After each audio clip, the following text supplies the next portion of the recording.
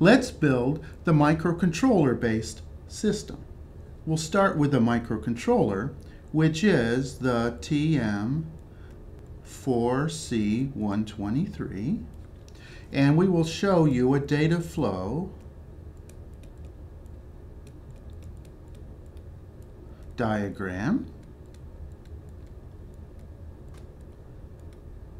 which illustrates how information flows through the system. We have our inputs, which in this case is a switch, and we have our output,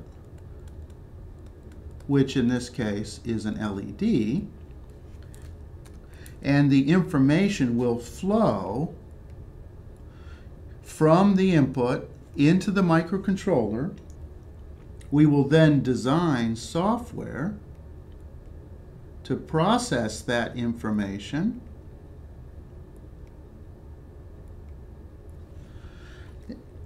and that information will then flow to the outputs. All right, let's build the input. All right, we have two steps to build the system. The first is we're going to connect the switch. Okay?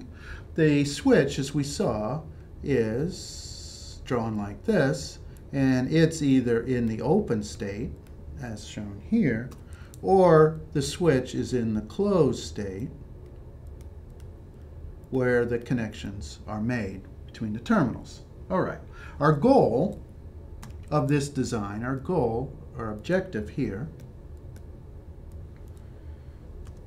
is to convert the switch state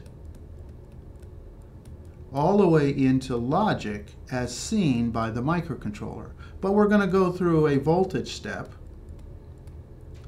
such that if the switch is open, we are going to have a zero volts generated at the microcontroller, which will become a logic zero.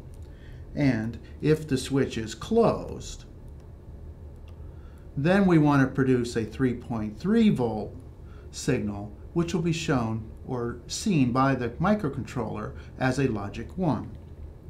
And the idea is we're going to connect this signal that we generated, this voltage right here that we generated, we're going to connect that to one of the microcontroller pins. And I've just picked PD0, but we could have used any one we wanted. And there's my microcontroller. I want to connect the signal there. Okay. So what are the components we need to create 3.3 volts? Well, we need 3.3 volts, so we'll start with 3.3 volts. And we're going to want to generate zero, so we're going to need a ground. And we're going to want a way such that if the switch is uh, closed, we then have a 3.3. So if I put the switch right here, I got half of it done.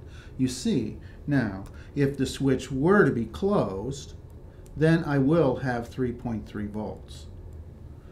Okay? But the other part is if the switch is open, I want to have 0 volts. So in order to get that happen, I'll put a 10K resistor here, and now my circuit's done. And we can check to see that this works by looking at the two scenarios. Again, if the switch is open, it'll look like this. The switch is not connected, and there's PD0, but the resistor is there.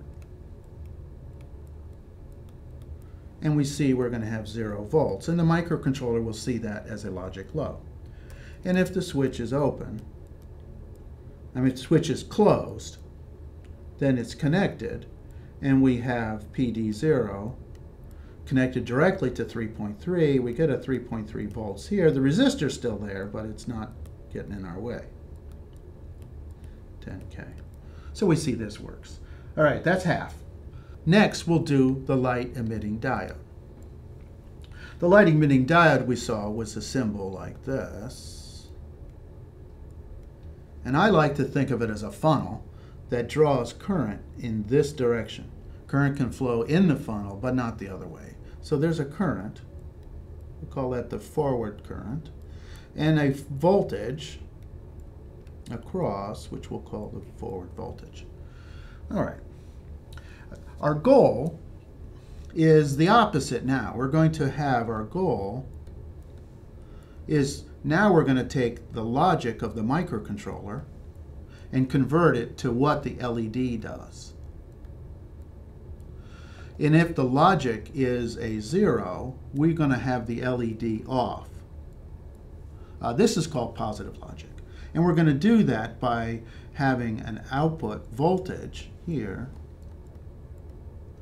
where if the logic is zero, the voltage will be zero, and then the microcontroller will have a logic 1, which will generate a 3.3 volts, and that was going to generate the current on.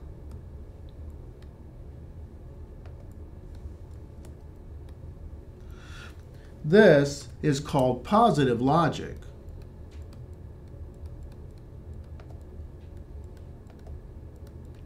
Because the true has a voltage higher than the false. That's positive logic. So the active state with the LED on is going to be a positive, higher voltage than there. All right, so now we need to build it. All right, T. We're going to take a different pin. Last time we, for the input we used PD0, for the output we're going to use PD3. This is our microcontroller. And we want to have the circuit such that when the output is high, the LED comes on.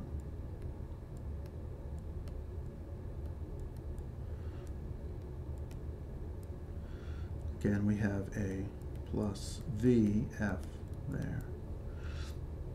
Now the current that we're going to get through here is going to match the current there. There's no, nowhere else to go. So these are going to be the same currents, but the voltages will be different.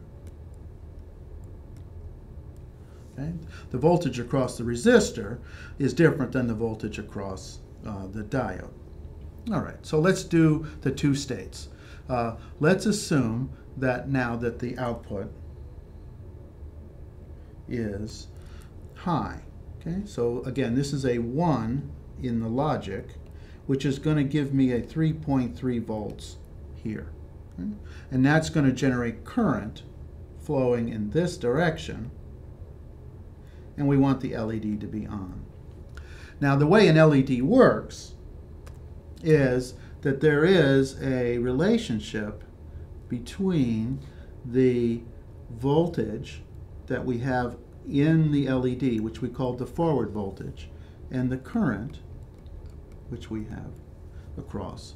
And it's very nonlinear, exponential to be sure, uh, in this relationship. You see, the resistor had a linear relationship, but the LED has got this nonlinear one. And I love the brightness of 3 milliamps, which is going to have a corresponding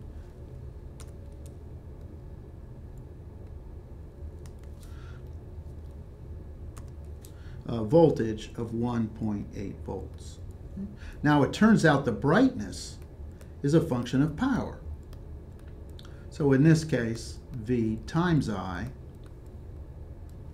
which is uh, 1.8 volts times 3 milliamps. That's how bright it's going to be. All right, so how do we get this to happen? Well, we go back to our circuit and we realize that if I'm at this operating point right there, if I'm at this operating point right here, then this uh, voltage here is 3.3 volts. This voltage here is 1.8 volts. And due to this voltage divider, this has to be 3.3 minus 1.8, which is 1.5. So now I just have to choose the resistor to get the current that I want. Okay? So the current, the forward current here, is going to be the same as the current through the resistor. We already did that. And that's going to be the voltage across the resistor divided by the resistance, which in this case is going to be 1.5 divided by R. And so if I choose R equal 500 ohms, then my forward current is going to be 3 milliamps. Now I don't have 500 ohms. I had 470. It's close enough. All right, so we built the circuit.